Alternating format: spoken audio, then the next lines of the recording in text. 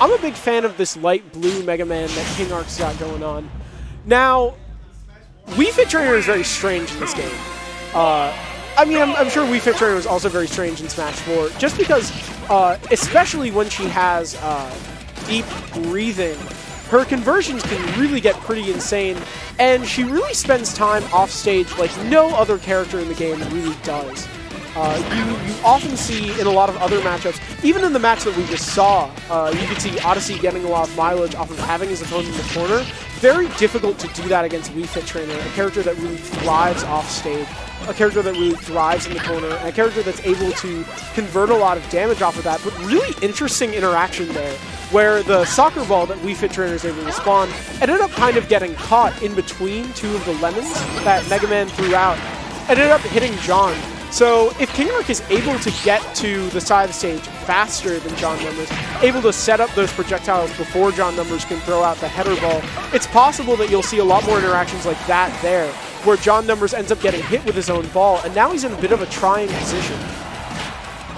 So, I mean, as you can see, Wii Fit Trainer, a character with little interest in, in playing the game from center stage. Uh, John Numbers very comfortable off stage, very comfortable uh, with his feet over the open abyss, uh, and, and, really interesting stuff. But uh, it's definitely, even though Wii Fit Trainer is so comfortable uh, on the edge of the stage, that doesn't mean that Wii Fit Trainer, when given stage control, can't ledge trap with the best of them, can't convert a lot of damage off of that.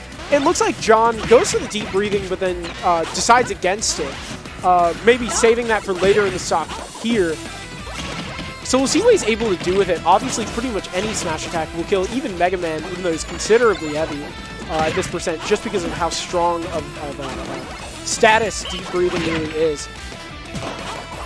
And John Numbers definitely having a hard time finding his footing here. It seems like King Arc kind of knows what he needs to do to mitigate the, the header, knows what he needs to do to mitigate the Sun Salutation.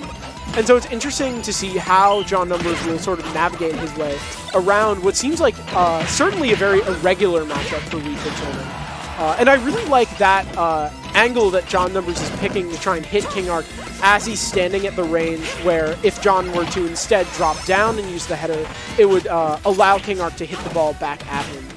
So that's one early adaptation that we're seeing from John, going to these kind of max range header balls to uh, kind of get King Arc uncomfortable, and managing to call out the uh, neutral air with a Sun Salutation that'll just beat out the Lemon cleanly. Managing to catch air dodge down from John Numbers with back air, an amazing move that stays out for such a long time. So it's really pretty excellent at catching uh, those sorts of air dodges in the sense that if John were to just fall normally, it would have also hit him.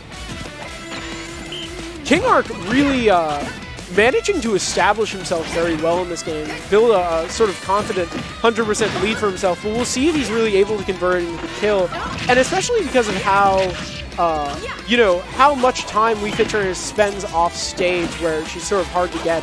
It's difficult to just kind of get the kill on Fit Trainer.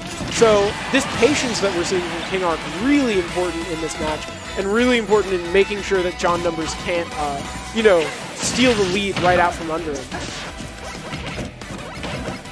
And I like this this range that you're seeing from King Arc. He's definitely going in from time to time to sort of pressure John Numbers if he, you know, decides to back up a bit.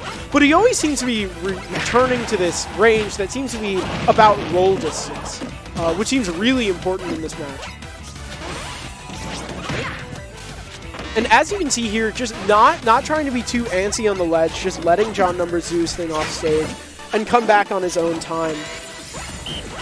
King Arc showing incredible patience in this matchup as this match goes into what appears to be its fourth minute. Uh, and it's really just been, as much as it's been certainly a longer match, and uh, certainly people haven't been dying as rapidly as certain other matches, it certainly has been action the whole time. You know, they, they have been interacting with each other absolutely the whole time. So it's interesting that it definitely feels like a bit of a nickel and dime sort of matchup. Now, the Crash Bomber is, is definitely interesting in this matchup because if he's able to stick that onto John numbers, it puts the onus on John to make sure that he puts himself back on even ground relatively quickly, or goes for an air dodge off stage, which can, of course, put him very low, uh, which can allow King Arc to go for more aggressive edge guard. So King Arc seems to definitely be prioritizing trying to get that Crash Bomber on John numbers when he's going for these more protracted uh, strings. And though King Arc's been in the lead for most of this game, John Numbers has brought it back into territory where he could certainly kill with pretty much any smash attack, particularly if he has deep breathing. So John Numbers looking to steal this game, but King Arc, with a confident down air to back air, manages to close it out.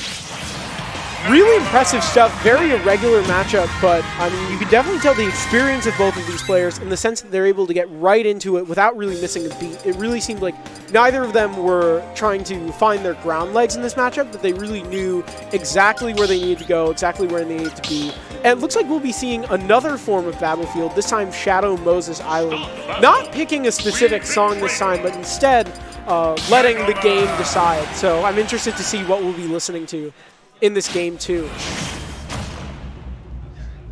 I'm interested to see what John does to adapt, whether it be, you know, sort of changing his flowchart off stage or sort of uh, trying to play more aggressively on the stage. Uh, very patient at the ledge because King Arc, uh, obviously establishing that roll distance that we talked about earlier, has been very patient at the ledge and hasn't been directly pressuring John Numbers uh, off stage. So John Numbers wisely adapting to that and sort of making sure that like if King Arc isn't making him get off the ledge, that he'll just stay, wait for King Arc to do something, and then respond accordingly. So King you can see, playing a bit more aggressively at the ledge, kind of dashing in to sort of test uh, John Numbers' uh, patience on the ledge. And those down airs, it's, it's interesting because if you watch a lot of Mega Man, you see Mega Man throw out those down airs quite a bit, and they don't hit often, but when they do, it absolutely changes the pace of a game. And speaking of which, John Numbers manages to get the up tilt, catches the air dodge with a forward smash, and manages to get a healthy lead for, I believe, the first time in this set. Uh, so we'll see what John Numbers uh, is able to do now that the onus is on King Arc to approach. And it's interesting, he definitely seems to be taking a more aggressive position on stage.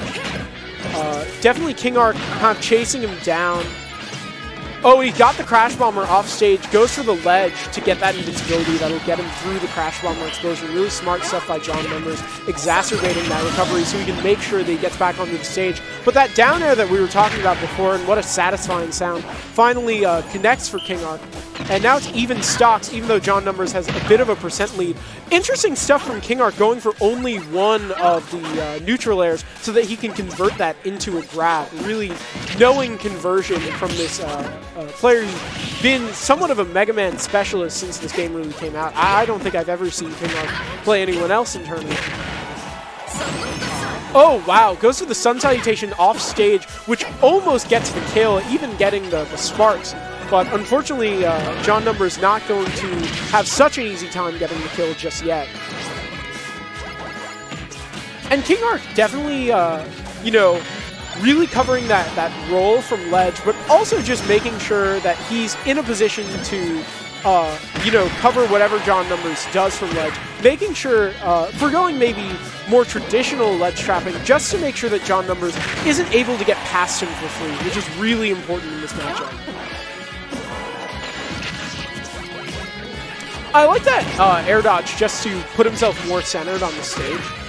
We'll see what King Arc's able to do. Looks like he's going for a lot of down airs. Forward throw from Wii Fit Trainer, gonna do it. And throwing out Sun Salutation just to get that little bit of percent, sort of like a reverse Fox Laser. An unfortunate SD from John Numbers, and as you can see in the player cam, definitely not pleased with that. But we'll see I mean, the slightest of lead for King Arc, but at this point, it, it's barely worth really noting. Or, I mean, at 15%, that, that actually is fair. Um, but definitely John Number is going uh, to the tried and true of trying to sort of convert off of projectiles at the ledge and then sort of see what he can do offstage out of that. And again, you see that interesting interaction where King Arc is able to basically put that meaty hitbox of the uh, lemons out to catch uh, John Numbers throwing out the header above the ledge. But John bringing this back hard. Good awareness from King Arc jumping over the Sun Salutation.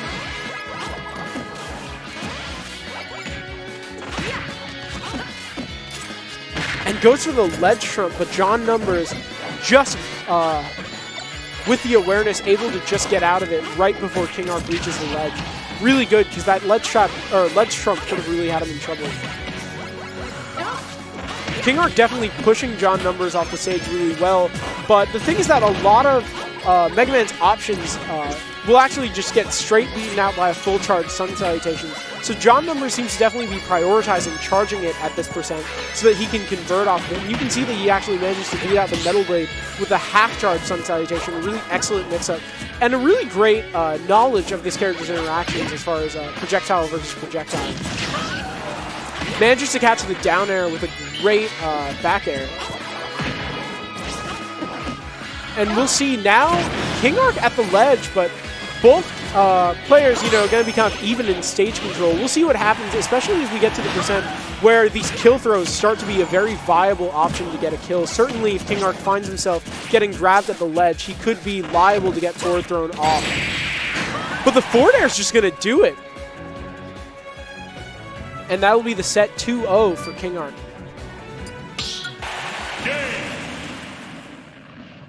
Yeah, really impressive stuff. Uh, definitely uh, a really interesting showcase of matchup knowledge in a matchup that really isn't so common. Uh, really, really fascinating play from both King Arc and John Numbers, uh, and King Arc definitely showing off not only his matchup of uh, matchup knowledge, but definitely his patience. Of course, Uh, John would let me be able to try do this now. Yeah, there it is. Uh, saw that. Look at that. Yeah, Rip John that Numbers out. Ooh. tearing the controller out. I'm terrible. Yeah, but I mean, definitely, definitely.